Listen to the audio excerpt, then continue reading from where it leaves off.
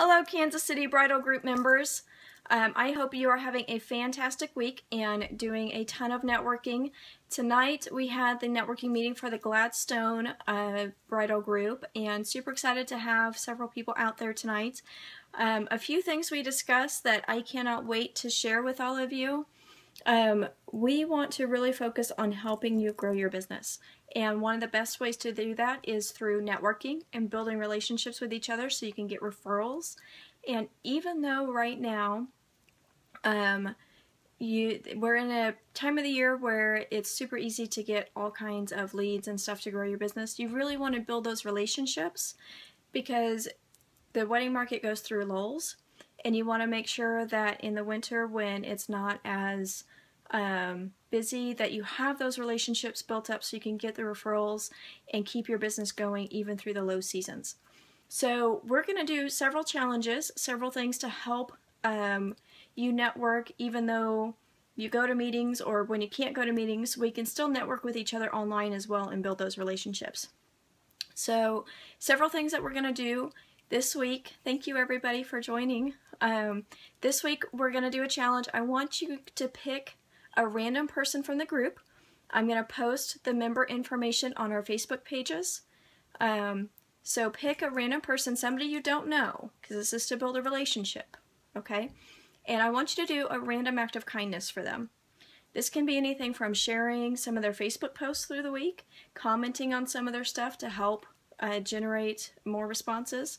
You can put um, an ad for them in your email blast that goes out or your newsletter that goes out to your clients. You can even uh, send them a Starbucks gift card. Uh, their email addresses will be on there, and I know with Starbucks you can email um, a coffee card. So any kind of act of kindness that you can think of, I want you to pick somebody, I want you to do it, and then I want you to reach out to them after you've done it and introduce yourself and say that you chose them as part of the random act of kindness and ask them to tell you about their business and then have a conversation with them about it. Um, if you can meet for coffee and talk face to face, great. If not, do it over the phone or over Skype. But I want you to reach out and get to know somebody this week, but start it by doing something nice for somebody. And if somebody's done something nice for you, I want you to do something nice for somebody else. Don't do it back because this is about building as many relationships as you can. So hopefully with this you'll get to meet at least two people. Um, it could be more, but if you want to do more than one person, feel free to, but I want you to choose at least one.